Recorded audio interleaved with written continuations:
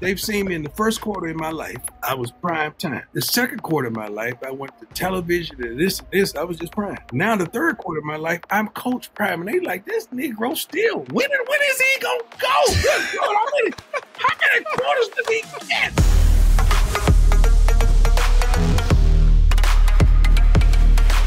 Yo, yo, yo, welcome to RG3 and the Ones Wave Sports and Entertainment original presented by Prize Picks. I'm your host, Robert Griffin III, and on this show, we're talking to the ones. I mean, the ones at the top of their industry in sports and entertainment who don't just know the game, but also study the game and give it right back to you.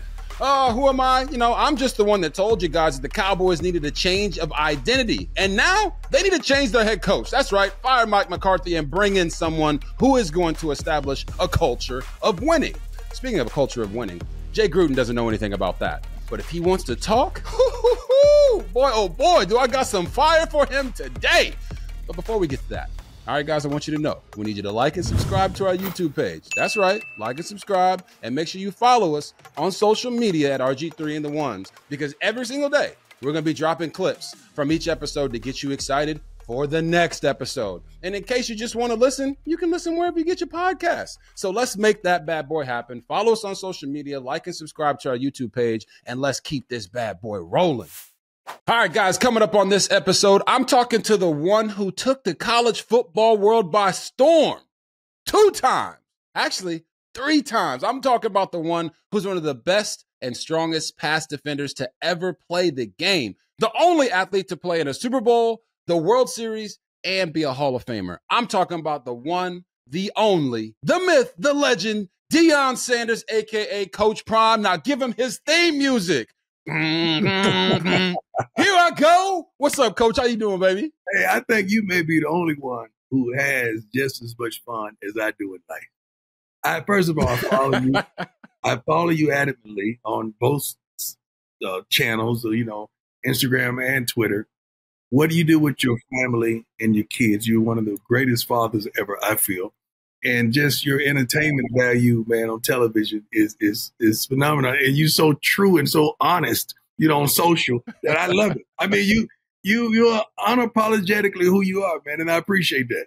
Yes, sir. Yes, sir. We got to be that way, and I learned that from from you, to be quite honest. And and I'm gonna go ahead and just you know address the elephant in the room, Coach. One one, I appreciate all the love you've ever shown me. You've always been supportive. Um, you know, and you when I, when I wasn't playing to my best ability in the NFL, you held me accountable there, and when I was playing to my best ability, you were all on board with me the whole time. So I appreciate that. But just watching you uh, through your development as a as a human being, as a coach, as a player, all these different things, I believe that Mike McCarthy needs to be fired. Dallas Cowboys, and that you're the coach. So we just you're the coach that needs to replace him. We're gonna get right to it. We're gonna get right to it off the I top. I would never coach pros. I'm never, I'm never. I got a problem. You played with guys that was getting a handsome yeah. check that didn't want to play. Right. How? That's true. How, how, how am I gonna handle that as a coach when I'm walking through the locker room and I'm seeing this guy? I know nothing ain't wrong with you, but you in the training room faking. You don't see here. I can regulate. I can regulate that. In it at the next level, man, come on, man. These cats don't even want to practice no more, man. So it's some great, uh, phenomenal athletes. I think the game is is getting better and better because the athletes are phenomenal nowadays. Right. I, I can't do it. I love the college game. I love still having influence on the minds and the games of these young men. I, I love shaping them right. and molding them. I can't, I couldn't do that at the next level. Hey, the next level, you expect them to be professional and do your job. Right. That's it. Right. That's it. And then when they don't do their job, you get the blame. so, so people, yeah, that is very true. That's very true. Listen, Mike McCarthy has won 36 games in the last three years. Right. Right. Three consecutive 12 win seasons. Mm-hmm. Like teams would die for that. They die to have the regular season success that the Cowboys have had. But you know this, having played there, that it's not just about the regular season success. They'd rather you go 10 and 10 and 7 and barely make the playoffs and and go win a Super Bowl than to go 12 and 5 and be out in the first round or in your first game for the last 3 years. So uh, I, they did I guess they did win the divisional round or the wild card round last year against the Bucs. But when you look at that and you say, "Hey, you have no interest in coaching pros," no, I, uh, I got pushback from people saying that they didn't think that you should be the coach of the Cowboys, and I went on this whole thing about you know uh, your form of coaching and how old fashioned it is, but the Cowboys need an identity. What right. do you think is the, the main issue with the Cowboys right now? Big time players making big time plays in big time games. That that's what I think the main issue is. Like, see, I've been on every side of this thing, so I know you could dial it up, but if they don't do their jobs, it ain't gonna work. And you sit up there and and that's why I wish I remember when I played for the Cowboys and the reporter was coming at the coach. I said, you know what I wish? I wish we could watch the game film in the stadium with the fans so you could see what's said in meetings. So you could see okay. and say, yeah. you see this? This guy was supposed to have contained, weren't you? Yeah, coach. Right. What happened? I don't know. I want them to see that. Who was supposed to do what on this play? Because all plays yeah. are designed to be successful. We don't design a play to be unsuccessful, but they don't do their jobs. And that's just that's the nature of the game at any level. So when you talk about the, you know, the want to of the players, uh, your your coaching style versus the way that they uh, accept coaching in the NFL versus the way it's done in college.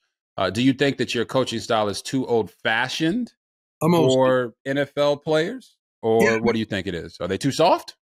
No, I'm not going to say they're too soft. I'm going to say we might collide with the thought process of even getting to the game. Okay. My disruption is going to start on Monday um, when we watching that film of the previous game. Then we got to flush that. Then you off Tuesday. And I'm going to see, okay, if you off Tuesday, but does that mean you don't come in? does What does that mean? Because if you want to be great, right, most guys right, you will be in there. You know? Then Wednesday, how you approach this new test, this new challenge. When we display the game plan to you, you know, are you tentative about that? Like here, every Friday, I put up, I put up film times of the entire team who all watch film. So if you don't watch any film on that Friday, you ain't playing because there's no way you're prepared. there's no way you can help us because you're not prepared. You right. don't know what's going on. So you're not right. playing. You're not even going on the trip. So I'm old school to that aspect that I want unity. I, I want these guys to want this. And, you know, right. on social media, we got that like button. I want a love button in this game. Everybody Ooh, liking this. Okay. Everybody liking this. I don't want you to like this. I want you to love this. The only way, when I seen this young brother out there at Baylor running up and down that field, baby, that was love. And when I seen Yo, oh, those young love. RG running up and down that field in Washington, baby, that was love. Not everybody on the team loved it, but you did. Yeah. But when you're looking in yes, that huddle and they can't match your love, that's a problem. Right. That's a problem. That's why in college, you know, you see us use the portal because we could we could eradicate that like real quick. We could get some love that's in true. We, we get some love. Oh, so, you love this. All right, so I'm gonna ask you a question because it's gonna set me up because I'm not I'm not giving up on this Coach Prime with the Cowboys just oh, well, yet. I know you, say you, don't want Coach Pros, but I'm not giving up on it just yet. Up, yeah, you need to give up on it. What what is the identity? Only scenario you can come with right now. Only scenario you could possibly come with right now is to throw my kids okay. in. That's the only thing you can do. And I know you're Come on now. I know you. Come on, you know that's where I'm going. First of all, Come on now. one of the kids. I'm talking about both of the kids. And no, no, no.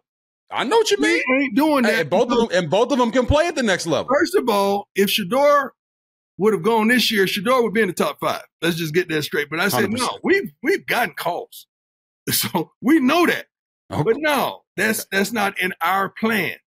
Uh, we have a plan. We've always had a plan, and we've executed the plan 100. percent So don't use my kids to get me. Ooh, I like it. So I, okay, so I'm, now you're gonna make me switch the question now because you went there. so, what do you have any interest in following no. your sons to the NFL? No, my babies have always followed me. I'm a dad. I'm a real father. You're a real father. We ain't following our kids, man. Our kids are following us. All right. So then, so that, that brings me back to my other question, then, Coach. What is the identity like when you when you turn things around at Jackson State, go twenty seven mm-hmm. to 6 mm-hmm. you, you, now, in my opinion, you have started to turn things around at Colorado. Mm-hmm. Right, won one game the previous year. Now you guys went four. Changed the whole mindset of the entire university.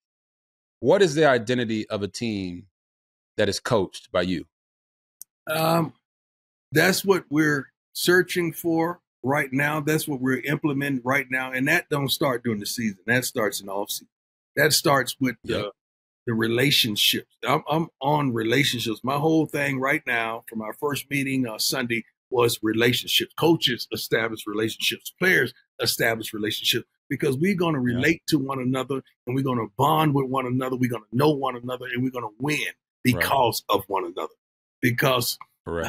I want us to be, well, you know, you, you want that to be smart, tough, fast, disciplined with character. I always say that, but you got to embody that stuff, man. Like that stuff is real. See, that stuff don't just happen on the field.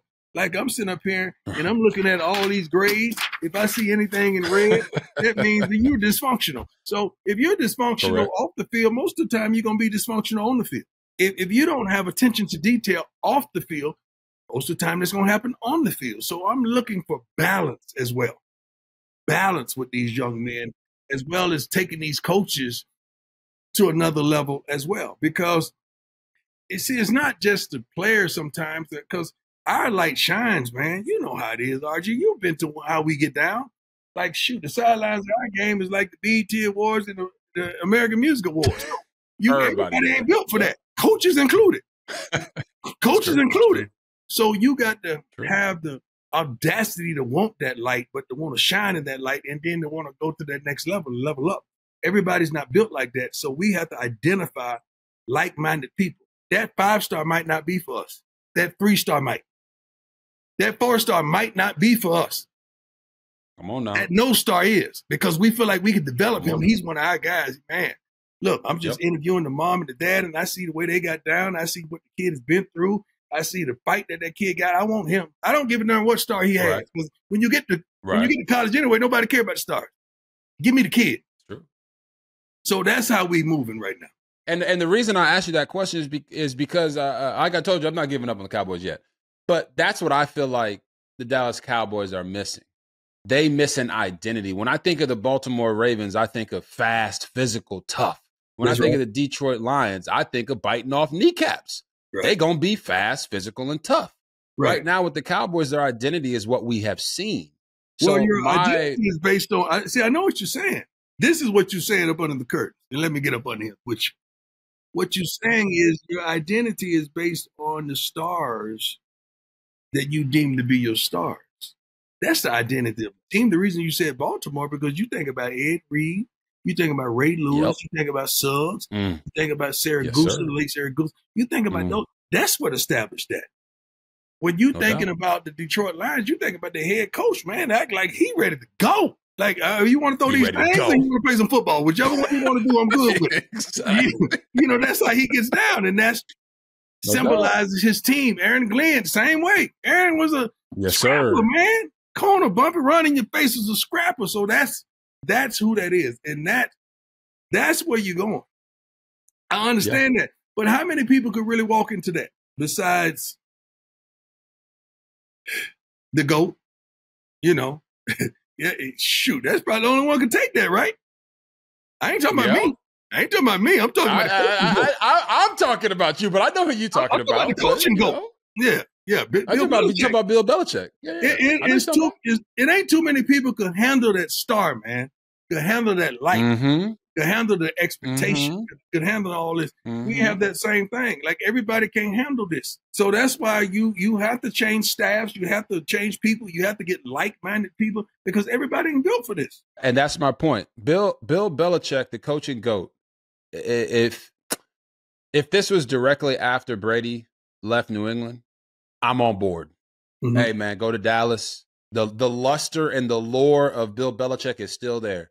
Now, after what three seasons without Brady, and now people are looking at his record with and without Brady. I don't think that his coaching style in the NFL still fits. I don't believe the Patriot way is still the way to get it done in today's NFL. You're right, but you I'm pretty sure he's keen enough and smart enough to make certain adjustments. Okay.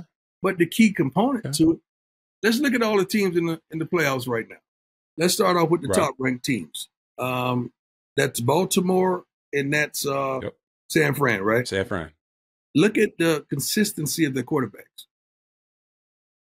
Now, only once where the quarterback from San Fran got a little inconsistent. And you're seeing the team start to sputter a little bit because of his inconsistency. Over the last several yep. years, Bill Belichick didn't have no consistency at quarterback. Not, not. So that team is going to sputter when he's had a pretty much two decades of consistency at the quarterback position. When you look at the first, Correct. who has the first pick this year? Um, Chicago, then uh, Chicago Bears, then the Giants, then this, then that, then that. Look at all the quarterbacks.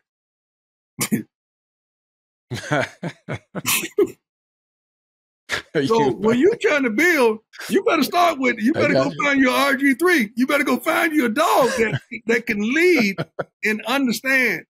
And see what's the scary part of college guys is I tell Shedeur all the time, son, on the sidelines, go get in your uh, lineman faces, talk to them, articulate yourself, let them know what you want, let them know what you need. You know why?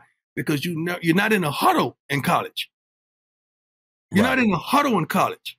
So when was your like when you how did it change for you? When the first time now you get in that huddle, this guy's 35, this guy's 32. you, just, you just saw his kids in a station wagon being dropped off, so you know he dead serious about this game.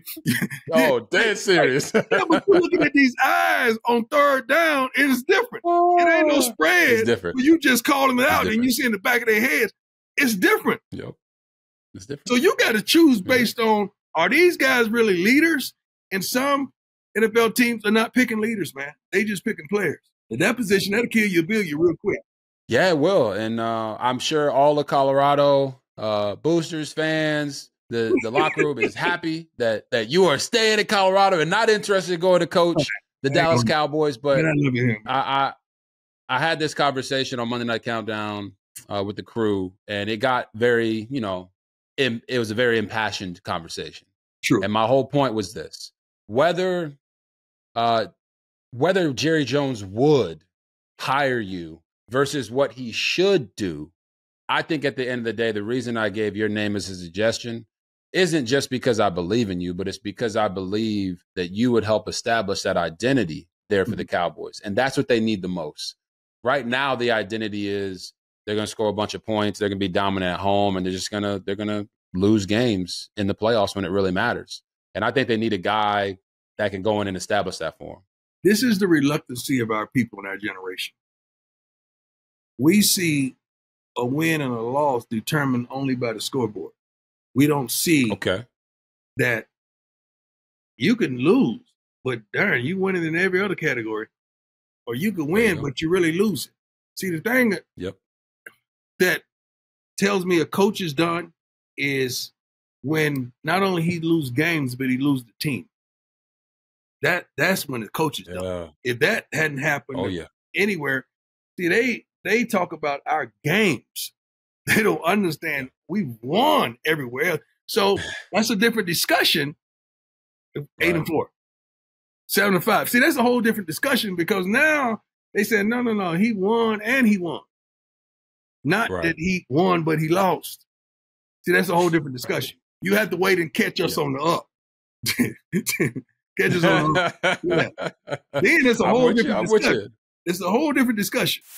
All right, people, you know what time it is. It's time for prize picks. RG3 and the ones is presented by prize picks, and prize picks is the most fun I've had, winning up to 25 times my money this football season. So let's get to the bag, y'all. It's super simple. You just select two or more players, pick more or less on their projected stats, and place your entry. It's easy like Sunday morning kind of like that vibe. That was a good vibe, right? Okay. Testing my skills on prize picks this football season is the most exciting way to play daily fantasy sports. If you have the skills, and we know I got the skills, so we're going to see if you got them too. You can turn $10 into $250 with just a few taps. And get this prize picks offers weekly promotions that can lead to big payouts like Taco Tuesday. Each Tuesday, prize picks discounts selected player projections up to 20 25% to provide even more value. We winning on and off the field, y'all. Prize Picks is really simple to play. I can make my picks and submit my entry in less than 60 seconds. Quick withdrawals, easy gameplay, and an enormous selection of players and stat types are what makes Prize Picks the number one daily fantasy sports app. So let's get into it. This week, my Prize Picks, I'm going to be selecting Number one is going to be Amon-Ra St. Brown. I'm talking about the Detroit Lions wide receiver, and he's going to have more than 89 and a half yards against a Bucs secondary that gives up a plethora of yards. Yes, the Bucs did win, and they were great in the red zone, but DeVonta Smith still went off, went off against that secondary. So I'm going to say that Amon-Ra St. Brown it gets more than 89 and a half, and my second pick is going to be C.J. Stroud. The number is set at 245 and a half passing yards, and I'm going to say he's going to get more than that. Yes, I know the Baltimore Ravens have a number one defense, but if the Texans are going to be able to win, CJ Stroud's going to have to throw for more than 245 and a half yards. And if they lose, say it's a blowout, I think he's going to still get past that number, a la what Dak Prescott did in this last game, playing from behind, throwing the football down in and down out. So those are my picks. Daily Fantasy Sports is made easy with prize picks. So make sure you go to prizepicks.com slash RG3 and use code RG3 for a first deposit match of up to $100. Again, go to prizepicks.com slash RG3 and use code RG3 for a first deposit match of up to $100.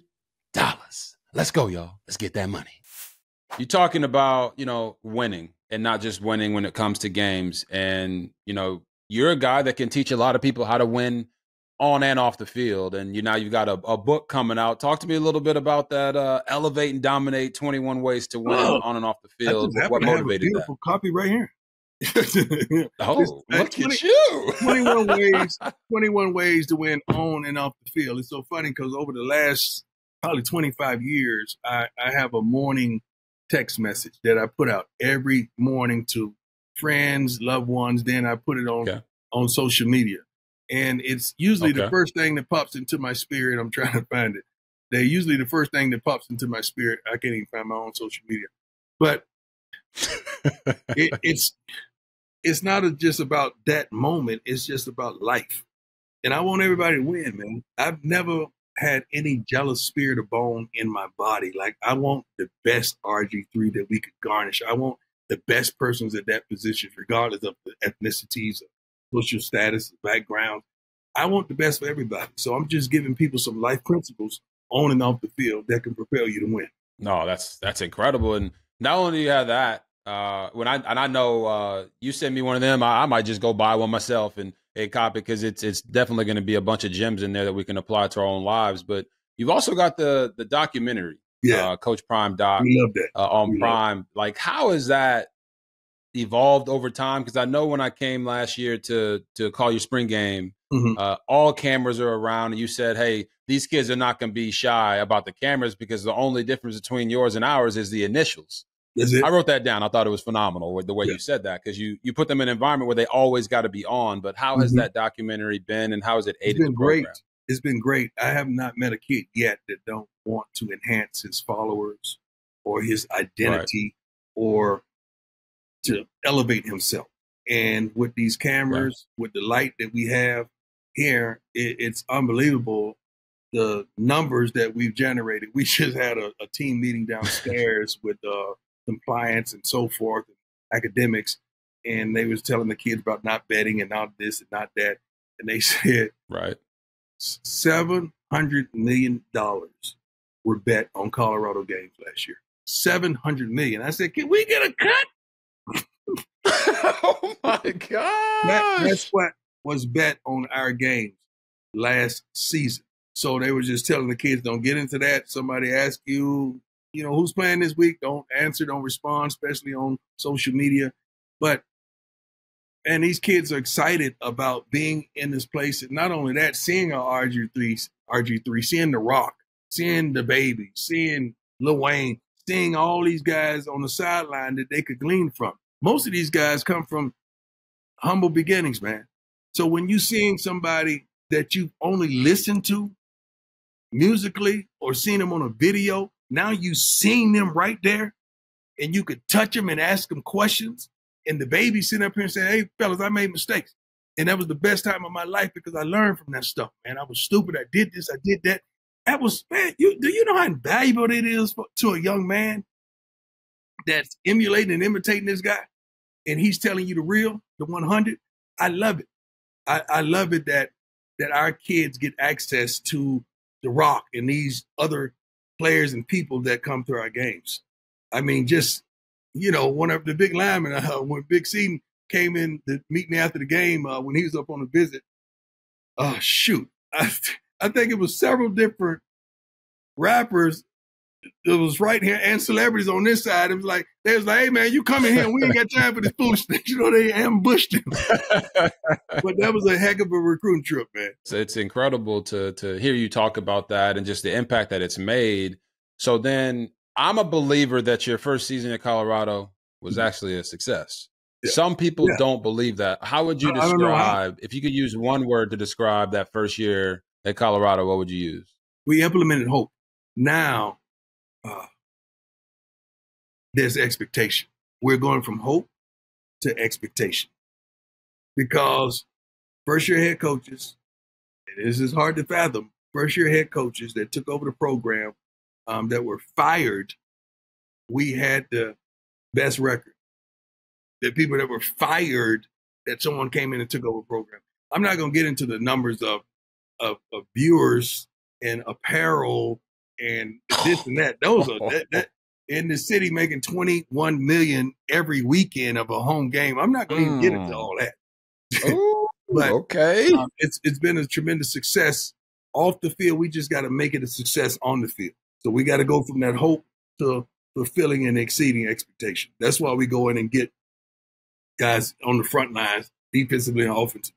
Yeah, coach, you, hope is a great word to use because you won't get into the numbers, but I did a deep dive uh, into the, the, the viewership numbers for Colorado this past year, and yeah. not even just early in the year, but even as you guys got later into the season, the numbers that you guys were drawing is nothing I've ever seen for a team that won one game the previous year. Right. I'm talking blue blood programs That's would right. absolutely do anything to get the numbers that you guys were pulling mm-hmm. against Colorado State.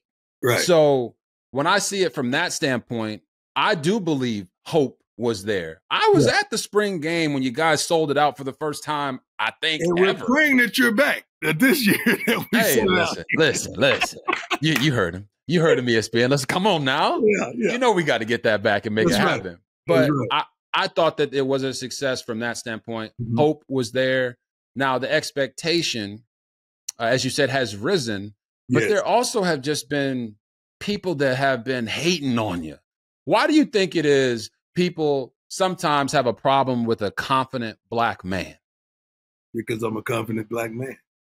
I said, first of all, they don't know what humility is because I'm a truly humble guy when it comes to what I feel like my source of strength is. It's from the Lord, and and I'm not going right. up there and saying I I I I I. I say I believe. That's about it. But I'm always trying to give a opportunity or a platform for my next brother, for my next man, for my next person. Um, hate is so much easier to disperse than love. Love, right. you know, love will get you hurt. You know, and people have been hurt and they've been battered, they've been bruised, and and oh, yeah. that love, they they they rather spew hate, and I don't subscribe to that. And also, RG, they've never seen me down. That's true. they, they, they've seen me in the first quarter of my life. I was prime time. The second quarter of my life, I went to television and this and this. I was just prime. Now the third quarter of my life, I'm coach prime, and they like this Negro coach still winning. When is he gonna go? how, many, how many quarters did he get? Shoot, in this game? Oh over? my goodness! In this game supposed to be over for him. Now his kid, I got to put up with the kid stunting and holding up. I got to put oh, up with them. I got to put up with the the darn shades. I got to put up with all of this. You mean to tell me when is he gonna go? I'm built for this, baby. I'm built to last. So that's one of the things, and and I do it unapologetically, man. I don't I don't subscribe to um, being happy and elated that you let me in. No, I kicked the door in. You ain't let me in. I took it. I took it. Then I'm gonna crack the door and let everybody in. That's just how how I move. And I love people, man. I love to see you exercise your gifts. And they don't even know how to deal with it. They don't even know how to deal with it. They don't even know how to deal with your gifts, man. Like, come on, man. So it was supposed to be over for you, right? Once right. you stop playing, when it's supposed to be over, Then you hit another another switch, and you like, oh Lord Jesus, we got to still deal with RG three now. We and he clean, he's well spoken, he's articulate, he's professional. We got to deal with this, man. Please, that's why, my brother. That's why, because you know who you are. I know who I am. You didn't let them tell you who you were, and they never have told me who I am. I told them who I was, and they didn't want to believe it. I told you when I came out of Fort Myers, Florida, I was him. You didn't want to believe me, so I showed it to you. That's why.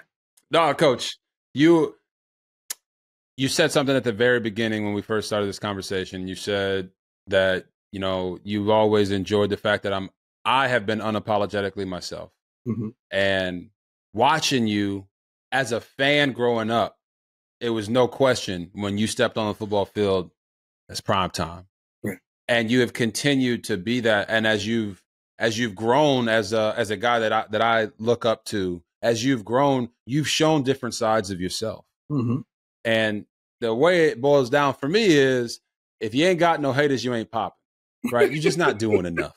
You're just not yeah, you're not yeah. making yeah. enough moves you're not making enough splashes that aren't just making a splash to make a splash it's right. because of who you are so I, I do believe that. And then on the other side of that, I look at some of the I don't want to say consequences, but some of the things that happened based off of the season you guys had. Mm-hmm. And I wanted to ask you this question. It's a two part question because you've had some guys on your staff leave. Right. Right. Uh, OC, DC, D line coach. Uh, i know I missed another one in there, but some people might say, hey, it looks like some of your own people have abandoned you. No. Do you no. still believe now? Right. After the season that you guys had? What would right. your answer be to that? Well, first of all, I don't think people understand elevation. I, I think at this time and date right now, um, I think Auburn is looking for several coaches right now. And I could keep going on and on, but I'm not going to throw nobody out there. Okay. Now you, you have uh, my guy, Coach Saban, the GOAT. He is so powerful and so strong that he's affected yep. three programs. He's affected Alabama by leaving. He's affected Washington by that guy leaving. Then he's affected Arizona by that guy leaving. That's you know how cold that is. I'm like, Coach, you are killing them, boy. You are killing them. Yeah. And guess what? All those kids are calling us right now, trying to get in. they want to come so, to Colorado. Exactly. So you're going to have that. But what I'm not doing is, first of all, we had coaches elevate. So it, so now you mad because the coach left here and now he's the head coach again? Right. Are you you mad because the guy left here and went to his alma mater, uh, and Coach Kelly at Auburn? He's my guy. I call him right now. He's gonna be, hey, Prep, you know, you, you, mad? Now you have a couple coaches that went lateral, but that's on them. They didn't right. go down. Um, Dennis Correct. Thurman was our uh, uh, analyst. Now he's gonna be a coordinator in Hawaii. That's my dog. That's my partner. So, and the only reason I haven't hired a person to coordinate in the defensive line is because I'm not trying to be quick. I'm trying to be right. Okay. I'm trying to be right. like it. I'm trying to be like right it. because we have a staff that's built on a lot of guys that's been at the pro level, man, that these kids yeah. can glean from. Like they've been in pro locker rooms in a pro uniform, and I'm trying to continue that. So sometimes I may have to wait for the interview to be over for an NFL guy. You don't know what I'm up to. I'm never caught naked. I'm not naked. Believe that. I just had, I just had pulled the trigger. I got, I got my drawers on. so I like it. That's like not it. the case. The case is we're going up another level. Right. I've never decreased. I've always increased, man. So, and I think our kids deserve it. Our kids deserve it. So it's so funny that when it happens, when it happens, when when you see people moving from my staff is one thing, but you see people move from another staff is another thing. Right. Uh, it's all about the narrative or the story that they're trying to tell.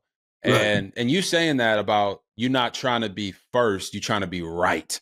You gotta be right. I feel like right now in the media, we could certainly not even right now. It feels like it's been like a, a good five, six, seven, ten year run where mm-hmm. people mm-hmm. are just trying to be first, but not getting the story right. I don't and that's that. just my little my my caveat there. No, you're right. But I don't subscribe when, to that. I don't want to be first. I've, I've been winning on my whole life. I know what winning feels like. I'm good.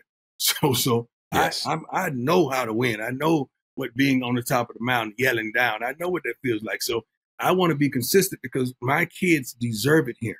I love these young Right. men. It ain't just a coach Right. player relationship, man. I genuinely love these kids, man. They my dogs. I mean, I was sitting up there, Yep. you know, handing them chips out my bag yesterday. They like, Coach, you got the hood chips. I'm like, yeah, Amazon, boy.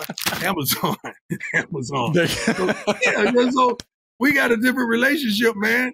That's why I said, guys, you. coaches, I want these kids to want not only want to play for me, I want them to want to play for us. I want them to want to kill for us. so that's why you haven't named a DC yet. Yeah, I, I got And, three DCs. and do you? But do you know who it? Do you want to announce that right now? Do you know who it might be? no, it's it might be several different couple, three people. It might be out of three people right Okay. now, but they're they're in interviews as well. So okay, Okay. they're really good. They really are relational, and they really know this game, know this game, and can utilize what we have here and take them to the next level. I mean, just like Pat Shurmur. Pat Shurmur is my OC. They, you got a problem with Pat Shurmur? Pat, Pat was 21 years in the NFL. So what do you? Oh, I mean, he took doing. over someone else's offense and still did well. You know how hard it is to Yeah. call someone else's plays, and Pat did a Oh, yeah. phenomenal job. The the person that that that, and I give him so much love because I, I I know him like a book is my son. You understand Shedeur? I think through during the 30 touchdown, three interceptions, and this is his Mm-hmm. third different coordinator in three seasons because we Yep. take it up. See, we did the same thing in Jackson with personnel and coaches, but nobody said nothing because I guess we was I was Willy Wonka then from the chocolate factory, and they ain't want to say nothing. Then. but now, Oh man. but now that I'm in another environment, you want to critique. But I change coordinators every year because I want to take it up. to your point, consistency is very important for a quarterback. The Yeah. fact that Shedeur has been able to to learn three different systems, uh, or should I say, have three different coordinators now. I guess this Yeah. would be his third system with Shurmur being able to put in more of what he what he's Yeah, more traditionally done. Uh, that consistency is it's important for Very a QB, important. but also showing the mental capability to learn Mhm. different systems is also important. But you brought up the kids, so we got to know. Uh, you always do this thing where you rank the kids, but I want to Yeah. put a different spin on this one and actually throw Travis Hunter in there as well because I know you That's consider him That's to, a good one. to one. be like a son. Yeah. So how would you rank the kids throwing Travis Hunter in the mix as well? Well, first of all, before I answer this, and that's a great question, and you're a great father yourself. I want to know how you would rank yours. Oh, here we go. Come on, man. You gonna put me in no, on the no, spot. no, Listen. no, no. Just because you, you know, Listen. just because you got these beautiful little young ladies there, you don't want to. uh-uh, Uh, uh, uh. No, You already know I got the girls. I got the girls. See, every parent lies, but everybody knows it's a ranking Hey, system. listen, man. It's a ranking Listen. system. Like I know right now, something happens to me. Should Shilo is just coming for the wheel reading. He's coming for the wheel reading. right. He's Right. not going to help. He ain't doing none of that. He ain't doing none of that. So I know my kids, man. So you know who's going to take care of you, who's going to nurse you, who's going to kick you to the curb. You know that. We all know that as parents. I'm just True. honest about that. I'm gonna let you off the hook because I know you baby girls. I appreciate you, dog. I ain't gonna lie. I appreciate it. yeah, I will say this. I got, I got, I got the four girls, eight, Yes. six, four, and about to be uh one. So Yeah. shout out to Gia. This is the baby girl that I ran off the field for at the Fiesta Bowl last year. She will be one on Saturday. So Right. And That's mama gonna fine. be, uh, let's just get this straight. And mama's still fine. So let them know that now. Mom, Mama, exactly. That's right. Mama's still fine. So let them know now. Don't Hey, get it twisted mama. like she ain't snapped back. Hey, mama's still fine. Mama's hey, still fine. mama's still fine. She snapped back. And uh, like I said, so well, actually, we got the game on Saturday for the Baltimore Ravens, and we're going to be celebrating her birthday on, on the 21st, which is her actual birthday on Okay. Sunday. So, uh, but I do know this. Uh, my six year old, Gloria, uh, if, she, if if anybody's going to like nurse me back or take care of you, boy, she's the one that's going to take care go. of daddy. She's she you go. always. So I, I know exactly what you're saying. But let's go ahead and get back to your your rankings. Throwing Travis Hunter in there. How you how you ranking them out Let me see. Right now, like right now, right, right now, now? Right now. I'm going to throw Shilo at number one. Shilo's been Okay. consistent. Yeah, right now Shilo is balling. He's been balling, man. He just he just called me. He you know they're in Paris right now, the fashion show. They they Oh, okay. They- They, doing. they- oh, they doing it big. All right. yeah, Pharrell uh, called and said, "Hey, man, you know we're gonna do a deal. We're gonna do this, uh, sons." So three of my boys out there, two of them watching. You know, Bucky's filming everything. Shedeur and Shilo are walking in Yep. the fashion show in Paris. Two days Oh, right wow. now. Matter of fact, they're probably walking right now. Yeah. So Shilo has been balling, and he never usually claims the number one spot because he does something crazy to get on my nerves. But he is that guy right now. Number two would probably be. Deiondra. Yeah. Okay. She's been, you know, she's the number two right now. She's consistent and uh, Consistent. she listens and she listens when she asks me for advice about this and that. Number three has to be Shedeur. No, no, Bucky. Bucky's three. Bucky. Okay. Bucky's three. Bucky keep three. me laced. Bucky keep me laced because you know uh, he's making some heck of a YouTube money. He keeps me laced. Uh, oh, he is doing his killing it. thing. He's killing it. Big Uh, killing it. then Shedeur, then Bossy, then Travis. If Okay. I put Travis in front of one of the Sanders, they will cuss me out. Come on. I, I was about to say, Coach, don't do Oh, it. Bossy, my daughter just walked in here. You know, she plays basketball here. She just walked in here a minute ago. I know she wanted to hold something, but I had people in there, so she couldn't ask in front of everybody because I know she wanted to borrow something. I know. Not borrow, just hold something. Dad, you got any money? Nope. That ain't got nothing. So that's how I rank up right now. But it's continually changing. That's fair. That's Yeah, that's a fair ranking. You, I've you don't you. text me back, you fall. That, that's it. You fall. You fall ranking. you fall off the list. You fall off the list. Oh my goodness! No, and I, I agree with you, Coach. You're you're 100 percent right. Most people don't want to rank their kids, uh, me included, because you know it just it gets to a point where they they see that you know and they might get a little upset about it. But you know, But you know, parents know. parents know. We know what time it is. they just say it in private. Yeah, that's my favorite kid Yeah. right there. But don't They tell them. Tell them I said that. else. If- your wife tells you, now that's you, you know that's you. That Yep. means they're not in a high ranking. They don't have a high ranking. Whenever your you. wife tell you, now you know she get it from you. She that's, Oh that's gonna God. you get that from you? Like, wait, what you mean? Oh, yeah, yeah. That means she is never gonna be one of one, two, or three in the ranking. Never. That's true. That's Yeah. true. True. Yeah. Now, Coach, some of your honesty, uh, whether it's about football, about the kids, all that stuff, it, it tends to get the media pretty riled up.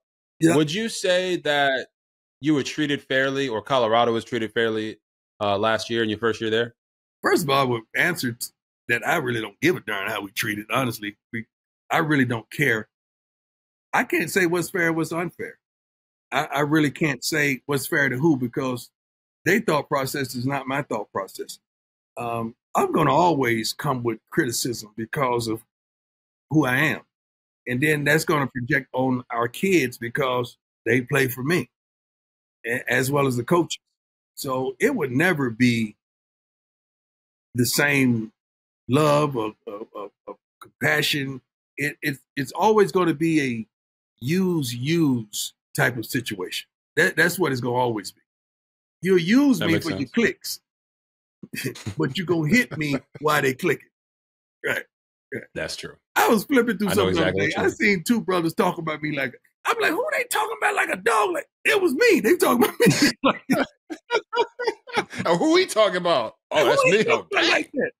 It ain't talking about me. And it was so. And I- sometimes I wish it was a way to just take away a podcast like immediately. It- I wish it was sanctioned right. that you because there's no there's no validation. It's just you're just trying to get clicks, man. Like, and we got to notice as Right. people when somebody's just trying to get your click, and it's Yeah, crazy. That's true. That's Yeah. true. No, no, it's it's um that I was told this in 2012 when I first got into the league. They said, you know, the media will build you up to tear you down, Right. and and I I hate that part of it of it, and I don't think that it has to be that way. But to your point, a lot of it has turned into that.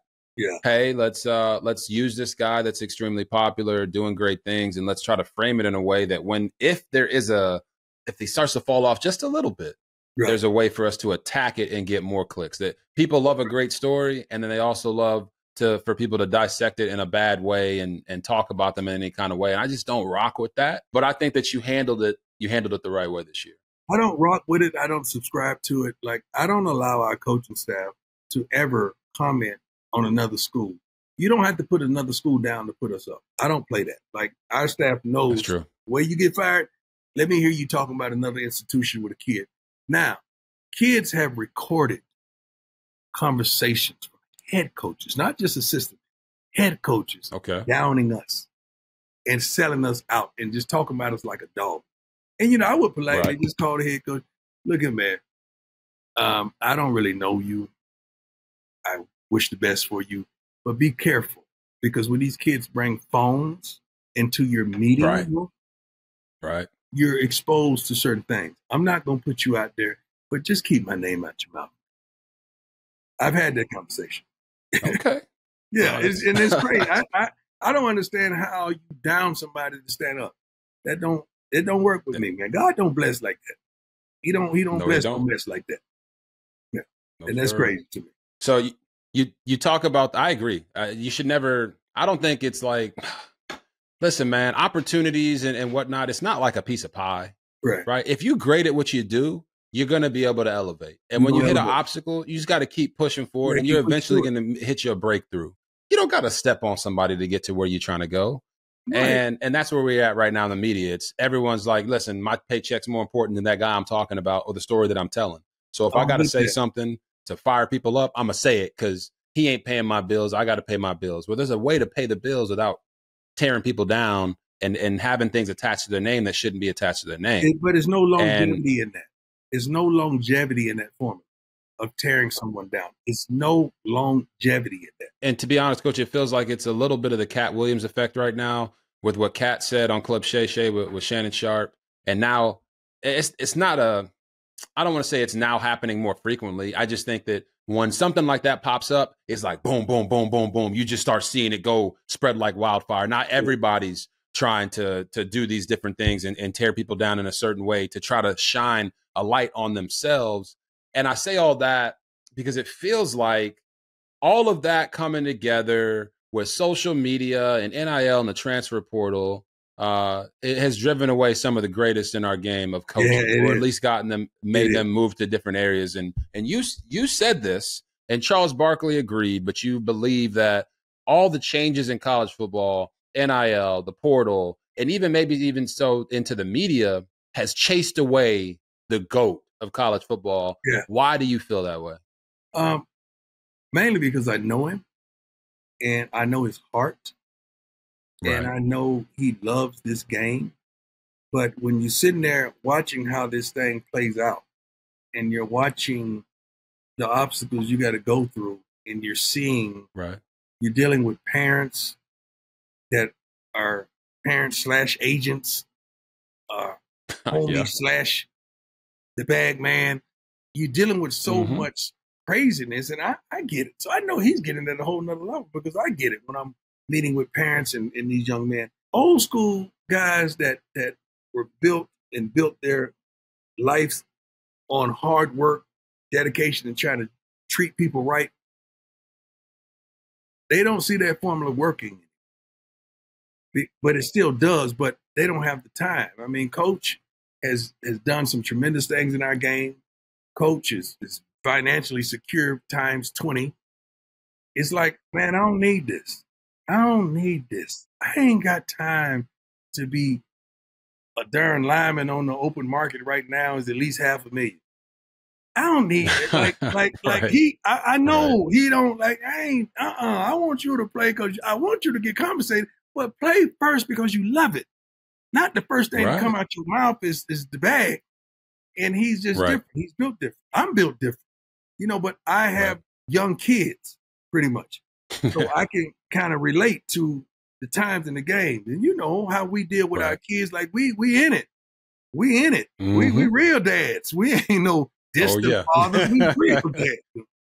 we in the, in it. we in the, I- I we in the trenches with them. Yeah, I know when you're affected. I know when you, so bothering you. So we're those type of parents. But man, I, I just I hope we do something with Aflac again because I like to glean from him every year. I like to call him and ask his advice on certain things. Um, Okay. It's one thing that he told me that I should have done that I didn't do, and it cost me. Okay. What was that? I can't tell you what it is.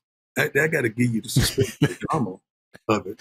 But I told him the situation. I told him what transpired, and he told me how he handled that before and how I should have handled it. And I didn't because okay, I'm just different. I should have listened, but the ridicule and the scrutiny to me as an African American coach is tenfold. Right. And I got to think of all this here. That's a good man. I love him. And his wife should teach a class of all coaches' wives, girlfriends, whatever. She should teach a class on how to handle the stage. And she's not behind him. She's right there with him. And you talking about a commitment to excellence? Wow. What would you say um, your relationship with Coach Saban is? You kind of described it a little bit there, and and then what's the no one gets to see the fun side of He's a Coach. Like even when I'm in a production meeting, when I'm in a production meeting with him, I, I got a chance to call his game this year against South uh, South Florida, and he's an intense guy. Yeah. But I know there's a fun side to It him. Do- Do you have any funny stories with him or, or about him that you share? I don't have funny stories, but like when we're sitting on set and we're looking at the lines that's coming up, and then he has to project to project his lines, and they may be a little different. I said, "Give me that. I'll take that. You take this. Let's do it this way." Like, coach, how would you do it if you was coach? I would just say. Let's say it. Let's do it. We're gonna change the whole script right now. Okay, this is what we're gonna do. Coach is gonna say this. We're gonna say that. That's what we do, and that's why Right. they come off well. And uh, I, it's been a pleasure working with him because those are two days I get to glean from the greatest man. Yeah, I get to sit at his feet and say, "Hey, tell me about this, coach. Uh, what happened with this? Oh, tell me about this. Uh, how do you choose this? Uh, uh, tell me about your practice schedule." I mean, I get to go through all of that with him. those commercials are great and uh, you can never take for granted the opportunity to learn from the great ones so i'm, Yeah. I'm glad that you're uh, clearly taking advantage of that. But then when you look at this from a, a holistic standpoint the goat of college football is gone in the, from the coaching ranks. Now Shedeur's out there recruiting alabama players and i want to know what's your pitch? What's your pitch to those bama players who are thinking I about going to the portal? How are you going to get them to come to colorado? I texted him, man, you crazy. That's what I texted when I saw this, this tweet. I was at the crib in Texas, and I saw that. I said, man, you crazy. Dad, we got to win, man. We got to win. I mean, that's that's what That's he's true. on. But you talking about probably our best recruiter is Shedeur and Travis. Like, kids want to play with them. They want to get down with them. That's why uh, the whole offensive line has, has been changed. The, the whole receiving core, I'm not changed, but enhanced tremendously, man. So I can't wait to see right um, them even get down and get ready and prepared in this off season. I think they started working out uh, like an hour ago. It's going to be phenomenal, man. So it's uh it's it's something. It's a lot of movement, but it's a price tag on everything Right. nowadays. It ain't just a kid, man. It, it ain't just man. The DB jumped in the portal. They need to just jump in the portal with what they cost. It's just make it easy. hey uh, 100000 jump in there with a here 50000 here 500000 here 50, 50, 50, oh my gosh 50 get you a walk on these days. Yeah.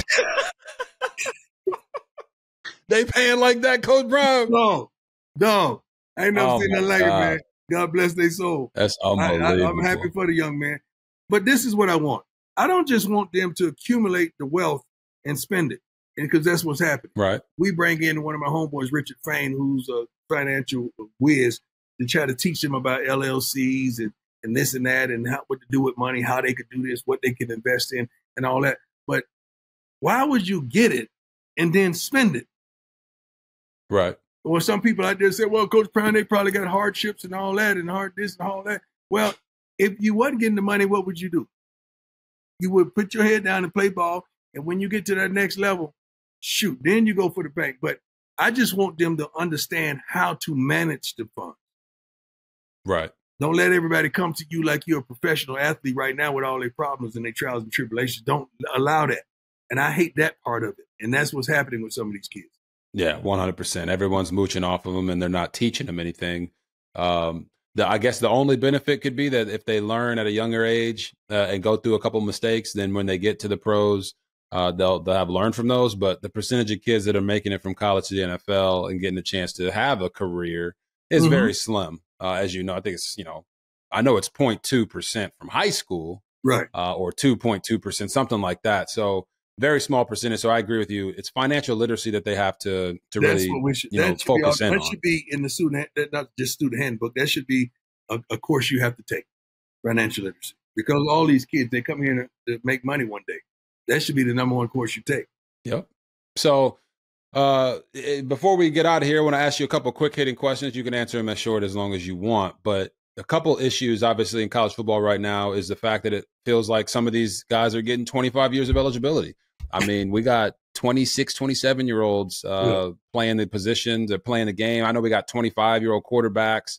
Uh, do you think that something needs to be done about the amount of eligibility these kids are getting due to the COVID years and the medical red shirts? No, I, I don't. I think it's been fair because COVID threw a, a, a wrench in there that gave kids another year. Um, what I think Okay. it should be, it should always be if your coach leave, you could leave. It, Okay. if coach leave, you could leave.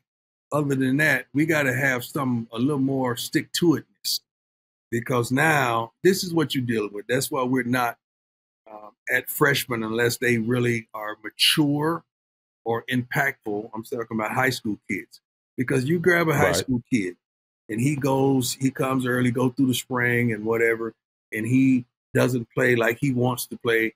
Then he goes back through that spring again because he's an early enrollee and he's not first team or whatever, you might as well just wave to him because he's going to jump in the portal on you.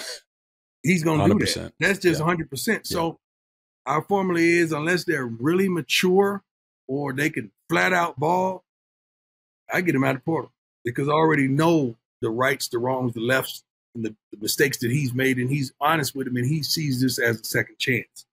So I, I like that aspect of. But now, when coaches have the ability to bounce, the kids got to have the ability to bounce with no repercussion. They shouldn't have any repercussion. If the coach if the coach dip, you should be to dip. I definitely agree with that, coach. And, you know, we've seen coaches getting fired left and right. Uh, some of the older coaches in the games, we talked about Saban, uh, you got Pete Carroll, Bill Belichick, uh, are all, you know, going to be in different places or not coaching anymore. Mike Tomlin got asked a question uh, at his at the end of the playoff He game out- at his he press walked out. conference. He Yeah. walked out, Yeah. right? So the question I have for you is just what is the what is needed in coaching today that wasn't needed in coaching, say, 10 years ago? Understanding. Understanding. You got to understand it can't just be your way. You know, although I'm old school and I have a way, but I got to understand how this cat grew up. I got to understand how he was raised. I got to understand his weaknesses and his strengths. I got to understand this young man totally. That's why I'm harping on relationships with all our coaches, with our young men, as well as me. Uh, me having a relationship with not only young men, but the coaches as well. You got to have a little more understanding in life because what they're up against is not what we're up against. It's tremendously more. It's a bigger umbrella of what they're subject to do in the open times. And now they have means to do it. I would have never fathomed that a kid would be driving a darn Rolls Royce Cullinan college. You know, like that, that's happening now. Kids are in Lamborghinis. That was my dream car. Once I got in pros, man. I mean, kids are getting that now in college. So it's a different game now. It's a different thought process. And you got to be able to relate to these young men and understand who they really are. Not the name on the front, which is the schools, and not the name on the back, who they really are. And some of the old school Man. cats, they ain't ready. They ain't ready to make those adjustments. Nah, that's that's why, Coach. Uh, I believe in you because I believe you have just the right amount of touch of the old school coaching in you, but also the ability to connect with these kids that you're recruiting. I've said it before, but you've been the kid that's been recruited. Mhm. You've been the coach recruiting the kid, and you've been the parent of the kid who's being right. recruited. So to me, all- that gives yeah. you a, an extreme advantage over And everybody else you're competing that talked against. about the whole situation on television. Look There at the go. parent, the kid. Add a fourth one too. I've been that guy to talk about that the whole thing as well. Yes, you have. So as I as I let you get out of here, I do have to say that uh, I don't know if you understand this impact. You're a very cerebral guy, so I think you do. But the fact that you went from Jackson State to Colorado and you've turned Colorado into essentially a semblance of black culture with who you get to go to the games, who you have support in the program, and the guys that you're getting to go there is nothing short of amazing. I want you to know that that has not gone unnoticed by by your boy here, and I think that you're going to continue to build greatness there at Colorado as long as you're there. Well, I'm, I'm thankful, man. I pray to God that you guys are here at the spring game, uh, and I pray we have great weather that day as well. right now, it's snow everywhere. It is beautiful, but it's snow everywhere right now. It is beautiful though. It was snow last year at spring game. I'm like, yeah. what's going on here, man? We didn't want that. Yeah, we want that in Vail or Breckenridge or something like that. We don't want that right on the field. But man, I appreciate you, my no brother. You've been it. you've been a real one hey. since day one, man. We've always clicked. We yes, always sir. had our thing, and uh, you've always treated me with nothing but respect and honor, man. So I appreciate that. But the best of all, you're a great player, great analyst. I mean, great analyst, but you're a greater father. That's that's what attracts me. You're a great father. I love the daddy, and I love the little skits. You're, hey, girl, Hey, yeah, yeah, you number one. You rank if you that close already. You rank number one. That's man. Gloria. That's Gloria, yeah, six year old. She's the number one ranking. Yeah, yeah. I, I, saw how Daddy say showed us that sneak peek. Uh, how he came down the driveway that day. I saw that long driveway Daddy was showing. Him. Daddy living good. hey, you peep game. You peep game all the time. Oh, peep good. yes, most definitely. You are so beautiful, Appreciate girl. you, coach. All right, you tell mama, and tell everybody I said hi, man. You got it, my guy. Appreciate you. All right, God bless you. All right, guys, that was an amazing conversation with Deion Sanders. And before I move on, I have to give a huge shout out to baby Gia right here. As I told him, she is the baby that I ran off the field for at the Fiesta Bowl last year when my wife went into labor and she'll be one on Sunday, the 21st. So wanted to give her a shout out. You guys already saw Gloria on camera with Coach Prime. Uh, as he said, he thinks that that's that's the favorite child. I just told him that's the one that's going to take care of me for sure. But Gia, right here with Goku from Dragon Ball Z, one of her favorite characters. I'm just kidding. She doesn't even know who it is. But she is going to be one years old. Time flies. Say hi. It's unbelievable, man. So happy to be a girl dad of four. Go ahead and walk to mommy. Girl dad of four, nothing like it being a parent uh, and daughters really, really uh, pull on your heartstrings. And speaking of pulling on your heartstrings, I got to give a massive shout out to Jason Kelce. Uh, he is retiring. It's very seldom that you can say in the NFL that an offensive lineman could really be one of the faces of the league and not just a left tackle who gets paid a ton of money, but a real gritty sinner with an amazing beard that calls himself Fat Batman. You've earned your retirement, my brother. I'm very excited for what you're doing with your own shows and what you're going to do in media, joining me on this side of retirement. And I think the entire NFL owes you a massive thank you for everything you've done for the league on and off the field. Now, before I get into anything else, I got to say the moment at that game between the Tampa Bay Bucs and the Eagles uh, we had an opportunity on Monday Night Countdown to go on the pirate ship, and I had a dream come true for myself and being able to woo, woo with Ric Flair, 74 years old. Always been a fan of his, always been a fan of wrestling, WWE in general. So that was a dream come true for me. And honestly, if you watch the video, I'm just like throwing them alley oops. You know, if you want to be the man, you got to beat the man. And you got to be a styling, profiling, limousine riding, private jet flying, kiss stealing, wheeling, dealing, son of a gun. Yes, I know all of his lines, but I wanted to set him up to say those lines because it was an amazing moment to see a legend in his element pick the Bucs, and I picked the Bucs with him. Now, that being said, after all the great feelings about Jason Kelce and Ric Flair, let's go ahead and get down to the nitty gritty with Jay Gruden. So as the game is going on for the Eagles, Jalen Hurts is getting abused in the pocket. I mean, he's getting hit left and right. The Bucs are using different fronts and formations, bringing all types of blitzes, and it looks like the Eagles' offensive line is confused. They're either not picking up these pressures, or they're just getting beat at the point of attack in one-on-one matchups by guys like Calijah Kancey. So Jay Gruden, we can put this screen, put this uh, tweet up on the screen for you. Jay Gruden says, "If I ever put a quarterback through what Philly is putting Jalen through." I apologize. Pick up a blitz. Now, picture this. Here's the scene. I'm sitting on the floor in the hotel room watching the game after Monday Night Countdown. Someone tags me in this tweet, in a quote tweet, and, and I see that Jay Gruden has said this. My first immediate reaction was, there's no way that's real. There is no way that Jay Gruden wrote that as a serious tweet because if he did, he has zero self awareness. Well, he did. And I could not wait to jump on this one. It's very seldom in life that you get opportunities to say things or dunk on somebody who literally dunked on you while you were playing. And I took the most of this opportunity and I put this picture up and said, Say what? It went viral, bananas. Everyone's laughing, talking about it. I think it's over. Oh, no, it's not over yet. Jay Gruden comes back, put it on the screen, and says, You weren't prepared, Robert? With a question mark. Oh, my goodness. He says he wasn't prepared.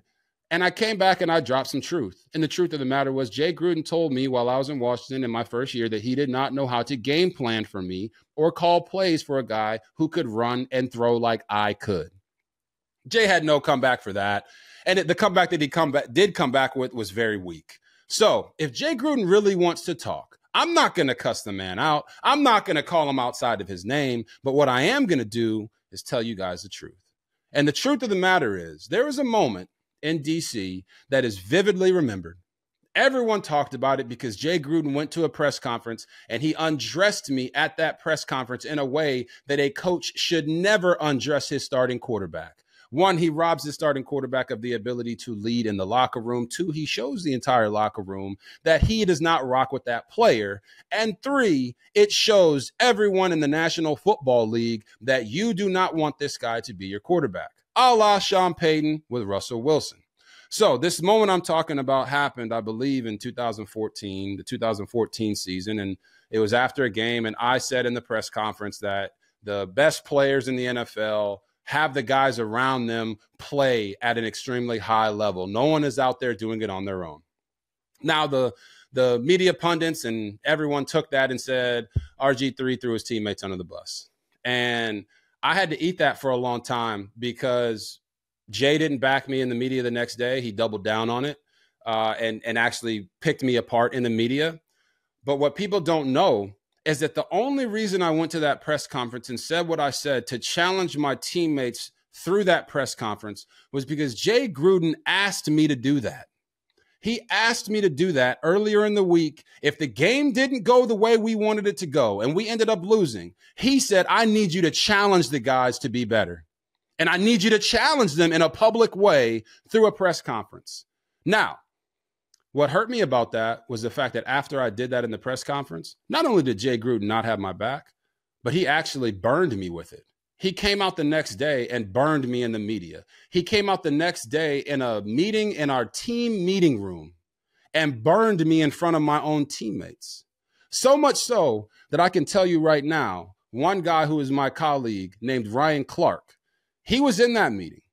And Jay Gruden put up on the screen, hey, we're going to when we talk in the media, we're only going to talk about ourselves. We're not going to talk about anybody else. We're not going to talk about what anybody else needs to do. We're just going to talk about what we need to do.